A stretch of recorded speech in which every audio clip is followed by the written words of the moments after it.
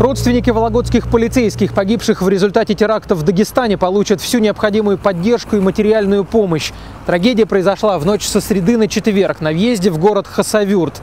Волокжане, дежурившие на КПП, остановили для проверки легковой автомобиль. В это время раздался мощный взрыв. Трое из наших земляков погибли на месте, еще шесть получили травмы.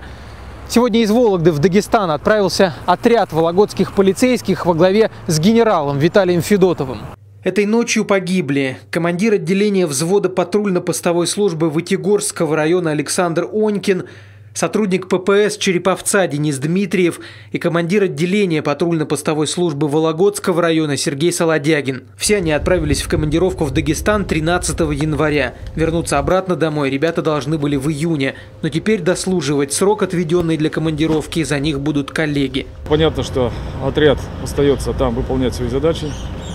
И наша задача э, значит, обеспечить нормальный э, психологический рабочий климат, э, нормальное настроение и готовность личного состава к выполнению своих служебных задач.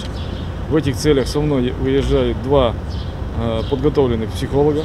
Уже сейчас эксперты сходятся во мнении, что именно благодаря действиям вологодских полицейских удалось избежать многочисленных жертв среди мирного населения. Не останови ребята смертника на подъезде к городу, теракт мог произойти в самом Хасавюрте. То, что было предпринято сотрудниками полиции, значит, это необходимая мера и, значит, безусловно, это и можно и нужно говорить, что и уже эта информация, она официально признана, что такими этими действиями был предотвращен террористический акт, направленный на поражение гражданского населения. Возможно, тела погибших волокжан удастся доставить на родину еще до конца недели. Расходы на транспортировку и организацию похорон возьмет на себя управление МВД. 15 февраля в Вологодской области объявлен днем траура.